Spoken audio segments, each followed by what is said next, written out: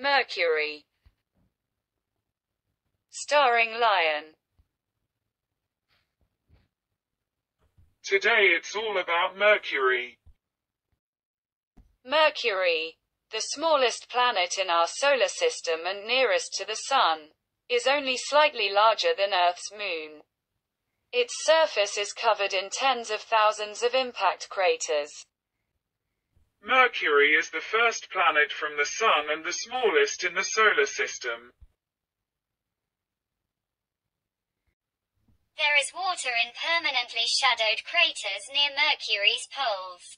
However, there's not much water and it's all in the form of ice that would disappear very quickly if exposed to the sun since Mercury doesn't have a protective atmosphere like Earth.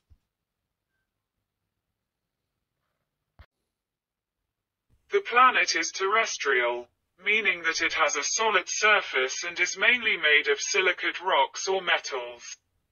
The planet Mercury is mainly made up of iron. Mercury formed about 4.5 billion years ago when gravity pulled swirling gas and dust together to form this small planet nearest the Sun. Like its fellow terrestrial planets, Mercury has a central core, a rocky mantle, and a solid crust.